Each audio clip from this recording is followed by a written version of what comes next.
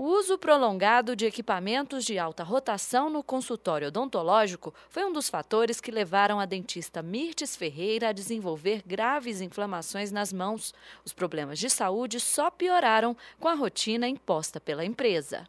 Eu nunca tive, em 20 e poucos anos de, de trabalho, eu nunca tive aqueles 15 minutos no intervalo de uma em uma hora para fazer o descanso das mãos. De uns cinco anos para cá, é, foi sendo cobrança pelo, é, pela parte financeira. A gente tinha que alcançar um, um valor pré-determinado pela empresa e esse valor a gente tinha que ser, pegar um determinado número de pacientes que alcançasse essa meta.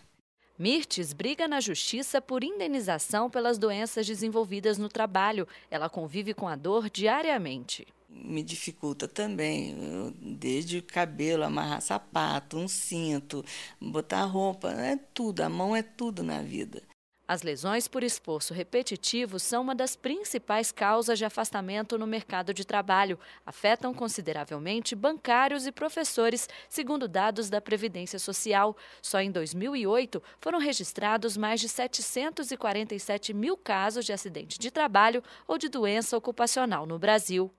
Se houver acidente ou doença desenvolvida em consequência do trabalho, a empresa é obrigada a emitir a comunicação de acidente de trabalho, que deve ser encaminhada ao INSS. O trabalhador é então submetido à perícia médica, considerada essencial para comprovar a relação entre a doença e as atividades desenvolvidas no serviço. Se for diagnosticada incapacidade temporária para o trabalho superior a 15 dias, o trabalhador tem direito ao auxílio-doença. Caso a incapacidade seja considerada permanente, o acidentado pode requerer aposentadoria por invalidez. Outro benefício previdenciário é o auxílio-acidente, pago como indenização pela perda de capacidade de trabalho.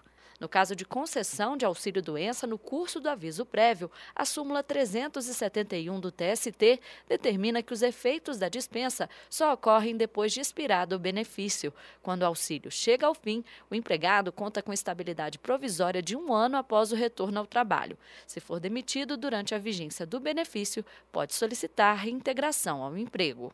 Se ele não for reintegrado no emprego, ele, ele não vai ter o plano de saúde, né? ele, ele, ele não vai, não, digamos assim, ele não vai ter a cobertura previdenciária. Na esfera trabalhista, o empregado incapacitado também pode exigir indenização pelos prejuízos sofridos. Ele vai receber uma indenização equivalente ao valor do seu salário, enquanto vida ele tiver, mais indenização por dano moral, uma indenização fixada de uma vez só, que tem uma finalidade de compensar a vítima pelo aquele adoecimento, desconforto, e ainda pode ter o, o, valor do dano material, que é a pensão que ele recebe, o equivalente ao valor do seu salário mensal que ele deixa de receber por estar compulsoriamente aposentado antes da sua expectativa normal.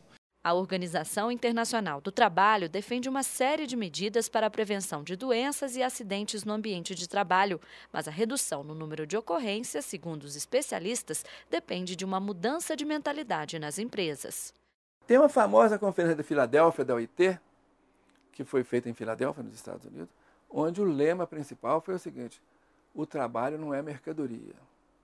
Quando você trata o trabalho como mercadoria, as doenças são consequência.